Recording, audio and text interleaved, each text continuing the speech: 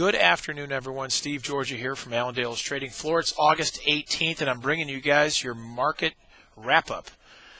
Today started off, everything was about the outside markets. The stock market sharply lower, crude oil breaking back, the support that we had seen in the dollar with a rally there for the dollar. Um, the grains didn't really react as bad to what's going on right now. Crude oil down about $5.25, sharply lower, 82.30. Uh, stock market down 426 points, putting that 10,983 right now. That looks negative. The dollar up about 58 cents today. That's finding a significant recovery off of yesterday's sharply lower move. Um, so we found a recovery there.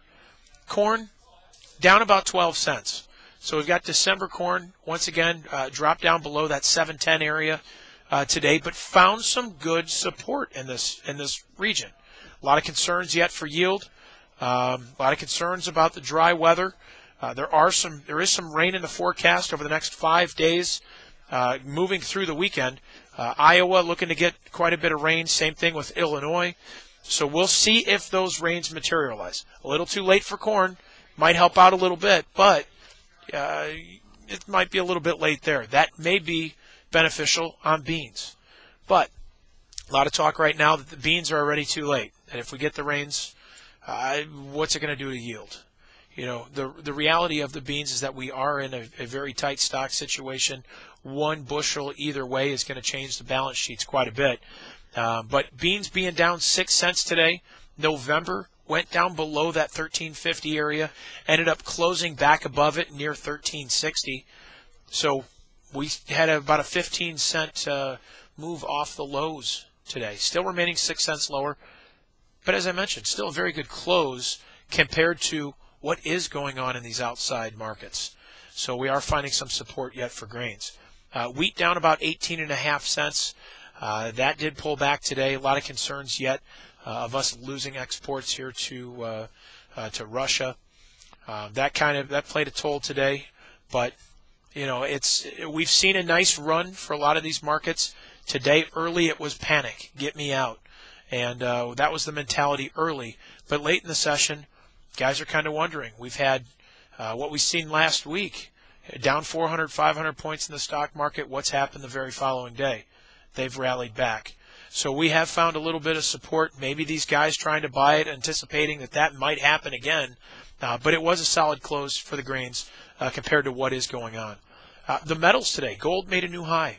You had gold up 32 bucks, uh, puts that 1826 right now. We had a new high 1829, uh, so we are near those highs again. Uh, they are still you're still finding money run to the metals as far as a safe haven, and um, that was certainly the case yet again today. Silver, 41 cents higher. Still kind of struggling um, at this $40 area. Uh, every time we're above it, we do find a, a nice pullback uh, down to that 37, 38 area.